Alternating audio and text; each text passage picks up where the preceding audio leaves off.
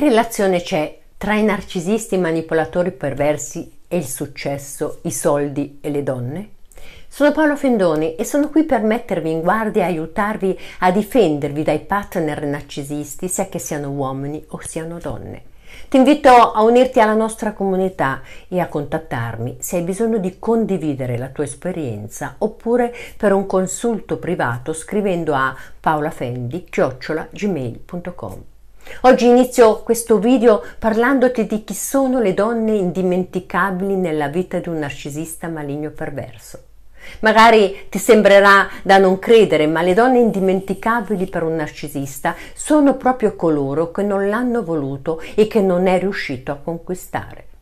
Una compagna di vita e di battaglia è troppo alla mano per essere all'altezza delle donne capaci di rifiutare i suoi doni di essere maligno.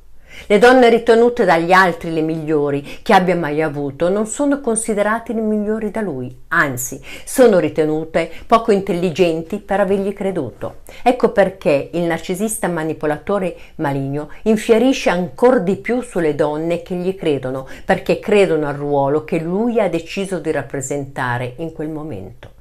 I narcisisti perversi, essendo bugiardi patologici, amano essere creduti, Tuttavia, quando ciò accade, le persone diventano automaticamente indegne del loro rispetto perché ritenute poco sveglie. Quando ci dedichiamo a questo tema impariamo a osservare meglio le dinamiche relazionali. Molti narcisisti manipolatori fanno uso del denaro come parte della seduzione perché nella loro testa i soldi sono necessari per ostentare la sicurezza che tanto piace alle donne. Appartiene alla strategia di conquista della donna far buona impressione, sfoggiando una situazione finanziaria oppure uno status fuori dalla loro realtà, soprattutto quando non sono in una condizione economica favorevole oppure quando non hanno avuto lo spiccato riconoscimento della loro professione o della posizione sociale desiderata.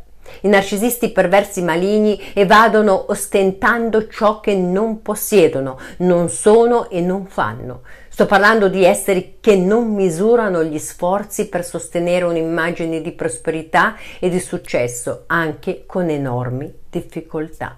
Alcuni amano regalare qualcosa alle donne che vogliono conquistare, altri si dimostrano veri materialisti, anche se inizialmente erano la generosità fatta in persona.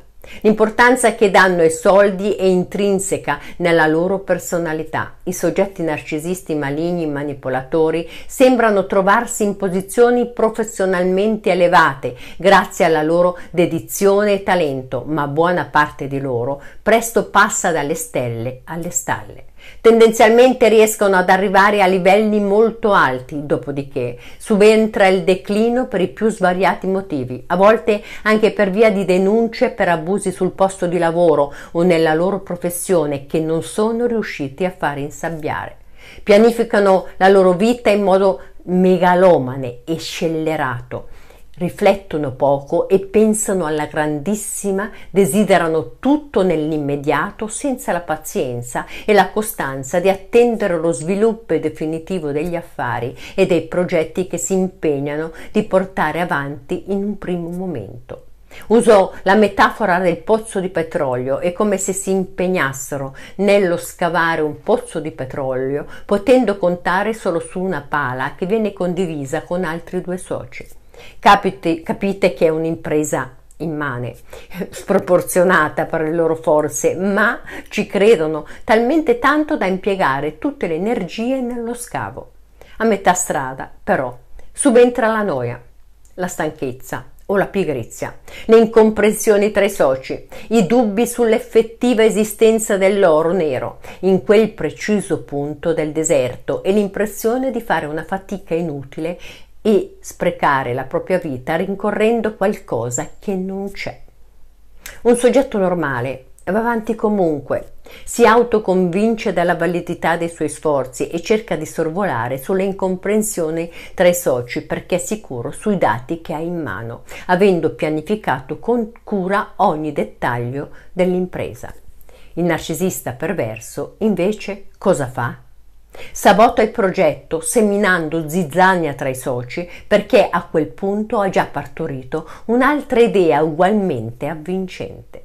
La maggior parte dei narcisisti manipolatori riflette poco sui costi impiegati per mantenere magari una famiglia, gli amanti e le gite, le spese dei ristoranti, alberghi e viaggi. Questo perché non hanno abbastanza responsabilità per equilibrare piacere e vita professionale. La mancata costanza fa sì che il loro successo professionale raramente si mantenga nel tempo ed è alla, nell'apice del fallimento e della frustrazione che il narcisista psicopatico maligno cerca disperatamente l'evasione attraverso le donne, il corpo delle donne. È così disposto a, sper- a sperperare ciò che non ha pur di ottenere tali corpi a pagamento che marcia allegramente verso il fallimento, naufraga nei conti in rosso verso la bancarotta, annega nei prestiti, pretende soldi da amici, parenti e aumenta la morsa dello sfruttamento economico dell'eventuale compagna di vita fin troppo accondiscendente,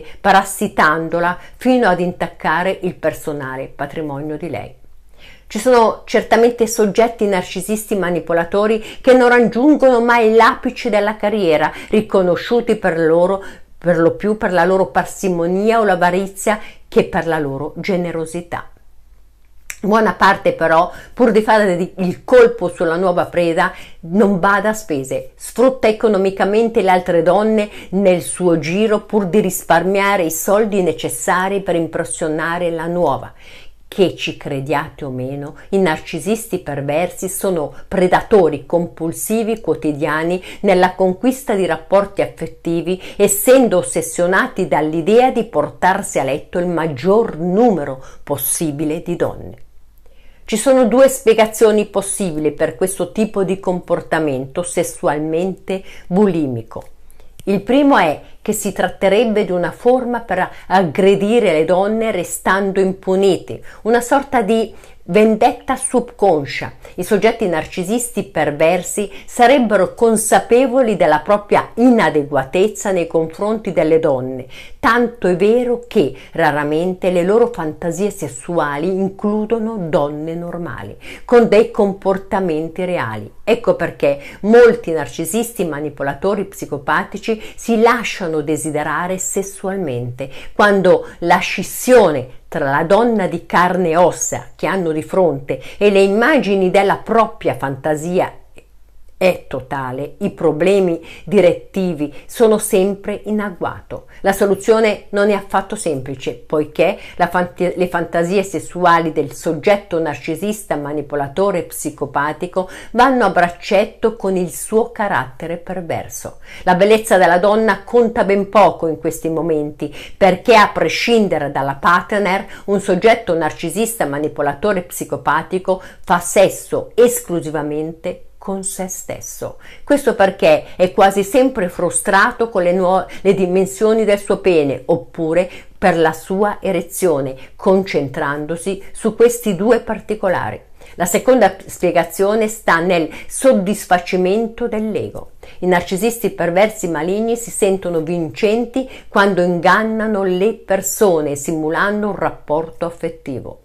È interessante osservare che nonostante la grande esperienza vantata con le donne, a sentire le loro prede arriviamo alla conclusione che raramente hanno avuto a che fare con dei bravi amanti.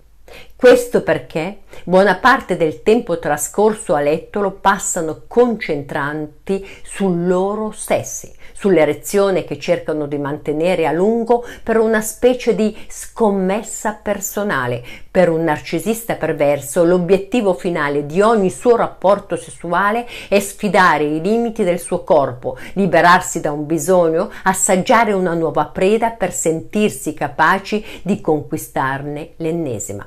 La donna conquista è soltanto un dettaglio, ma sa dissimulare abbastanza bene.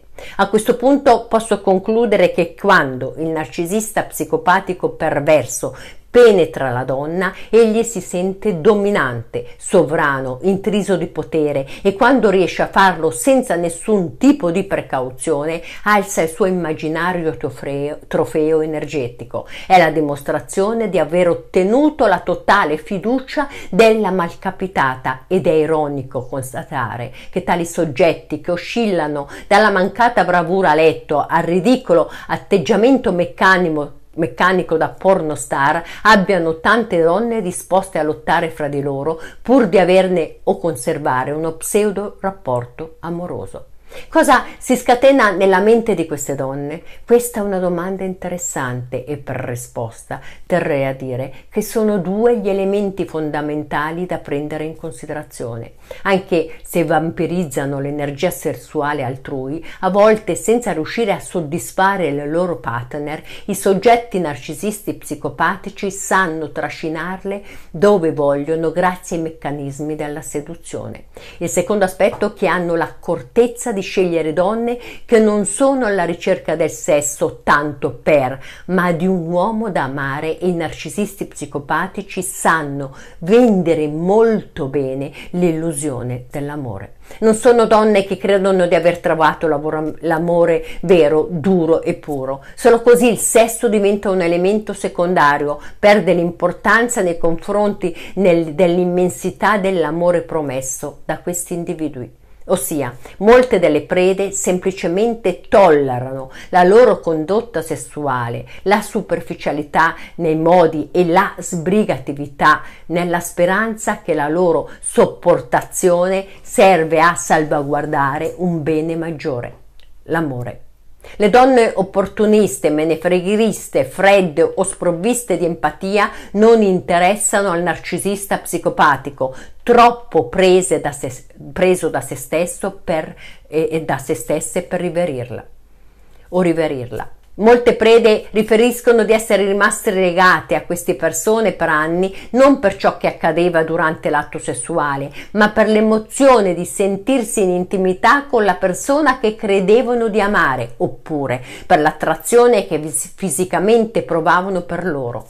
I narcisisti manipolatori maligni sono grandi esperti nei meccanismi della manipolazione delle virtù e dei difetti delle persone, usando il sesso come manipolazione Spero di esserti stata d'aiuto con questo video e mi auguro di ritrovarti qui domani con un nuovo video. Se hai avuto esperienze con un narcisista psicopatico o se hai dei dubbi a riguardo della tua relazione oppure vuoi trovare la forza per rinascere, ricorda che non sei sola, non sei solo e che ti posso aiutare a superare le conseguenze di queste relazioni tossiche. Ti invito a unirti alla nostra comunità e a contattarmi se hai bisogno di condividere la tua esperienza oppure per un consulto privato scrivimi a paolafendi-gmail.com. Ci vediamo domani in un nuovo video.